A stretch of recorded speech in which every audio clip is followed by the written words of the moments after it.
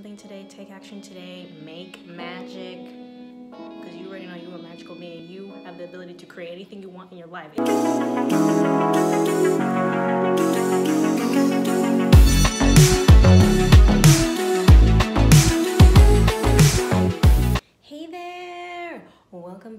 Channel. It's your girl Magical Frae. I hope you're having an amazing day getting to do what you want to do because you can and you're alive.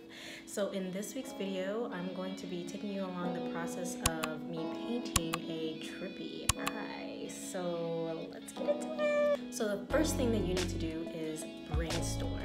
Brainstorm what you want in your eye, think about what you want, look at a reference photo, go on Google. Lately I've been watching a bunch of space TV series and the latest one that I watched was Babylon 5 and I saw something in an episode and I was super inspired and I saw like neurons and like colors and portals and I was like, oh my god, I'm inspired. It's an inspiration where I want to put that on my canvas. So I'm gonna use that inspiration. Get inspired by looking at images, looking at something outside, even in your room, looking at some shows, even walk outside and get some inspiration on what you want to draft um, in your eye. Number two, draft your ideas on a sketch pad, paper, pen, pa paper, pen, marker, permanent marker, anything that you can find, draft your ideas, get it down, draw it down. I know that for myself, I know that if I draw it, sketch it out on a sketchbook, then that is, it will be easier for me to sketch it on my, on my canvas so I can get certain shapes that I really want in the painting and project that with my lines. So definitely draft your ideas down, see what you really want see, figure out what you really want to see in your image, in your eye. Number three, supplies. Grab your supplies.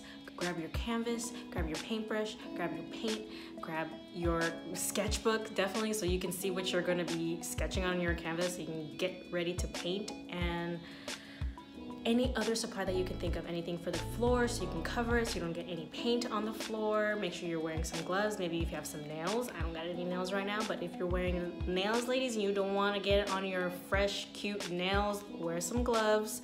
It's a time of year actually where everyone's starting to wear masks and gloves, so there's got to be gloves somewhere around your house, so wear some gloves. Just grab all the supplies that you can think about so before you start painting. So you're gonna be good. So when you're painting, you don't need anything else. You got all your supplies right in front of you. Number four is paint. Grab your paintbrush, grab that paint, mix it on your palette, whatever color you wanna start with, and start painting your canvas. What I like to do, I like to start on the edges because the edges, I, the edges are important. The edges are to me, I think every part of the canvas is important, but the edges, the edges really tell you if the paint really went through. It's like a whole image. Just like think about like a photograph. Like if part of the edge is like cut off, it's kind of like blurry or like messed up. It's like part of the whole image is gone. So definitely I start with the edges honestly paint all the edges and then I start painting the background and then I start getting into the middle of the actual center image of my canvas. And that's how I normally paint my canvases, but you can paint every way you want. You can start in the corner, you can start at the right, you can start anywhere you want. I just prefer to paint, start painting on the edges.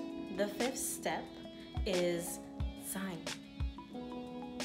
Sign your name on your beautiful masterpiece. Just sign it. Sign it any way you want, cursive, block letters, any color that you want, metallic, make it shine. Like, you did the damn thing. You painted that. So sign it away. Let people know who painted it.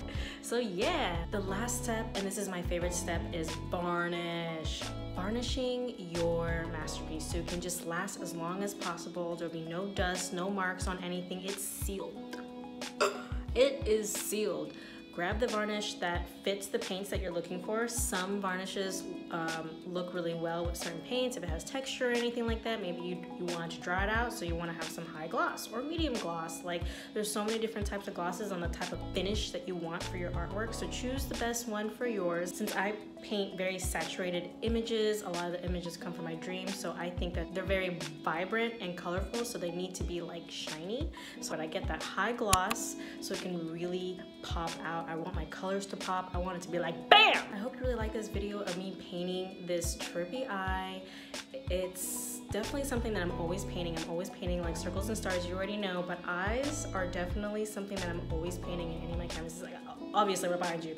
There, there is an eye. There is an eye. Okay, hold on. There, there's an eye over here in an eye. There's an alien in an eye over here. And then I have a, a melanin elf lady with an eye. I'm just, I'm always painting eyes. So this video was totally different. I'm filming on my phone. I'm filming on my phone.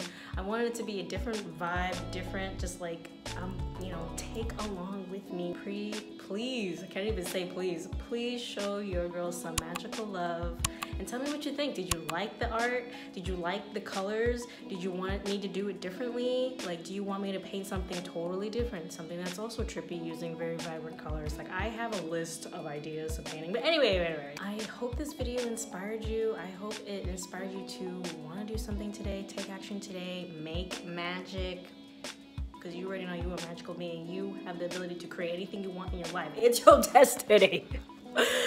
it's your magical destiny. anyway, um, I'll see you guys next time. I hope you have a magical day. Bye. So the first thing you need to do is brainstorm. uh.